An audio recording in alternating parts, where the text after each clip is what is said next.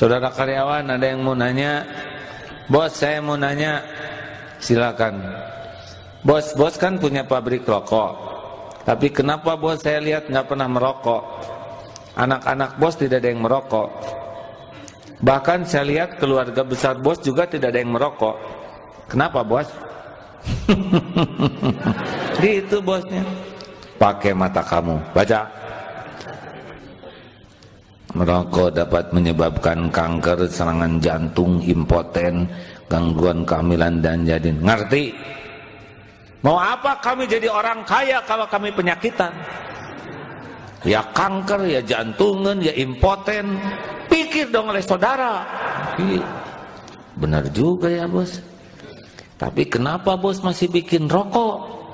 Heh, Rokok tuh dibikin buat yang nggak bisa baca ngaco gitu kan.